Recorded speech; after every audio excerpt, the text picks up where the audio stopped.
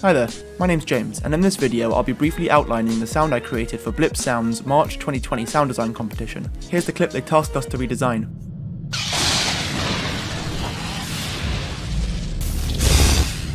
This month, the one rule of the competition was that we were only allowed to use one single sound source to redesign the whole scene, so I made an asset list. This allowed me to focus in on the details of the clip and really brainstorm ideas of what source I was going to use. And you ask, what source did I settle on?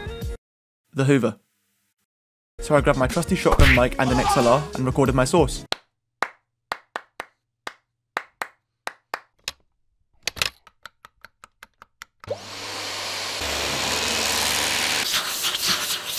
Then I started building my sound layer by layer. I started with the sound of the Force. This layer was meant to sound evil and weighty. I used a fair amount of pitch shifting and reverb to create a bassy layer, along with a lot of compression, tremolo, reverb, chorus, etc, etc. This is what I ended up with.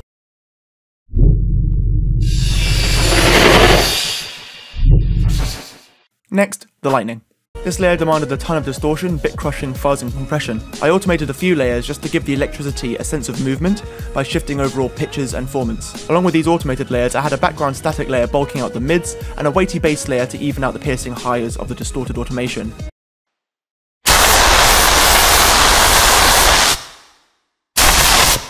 Finally, I wanted some subtle whooshes.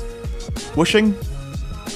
Wind noises. This was the easiest layer to create as the Hoover, by design, already produces airy sounds. However, I didn't like the result of just adding reverberated sucking to the overall sound. Ha ha ha. so I added more bit crushing, and this is the result I got.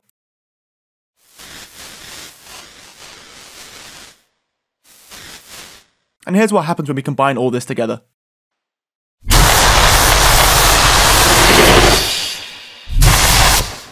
And why not? Let's make a quick spaceship ambience to fill it all out.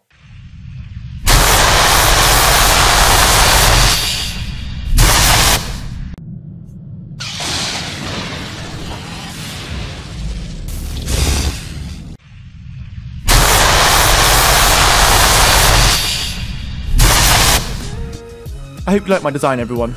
This is my first ever entry into the competition, and hopefully not my last. I've left a link to the Blipsounds YouTube channel and website in the description below for anyone interested in starting sound design or participating in coming up competitions. That's all from me. See you next time.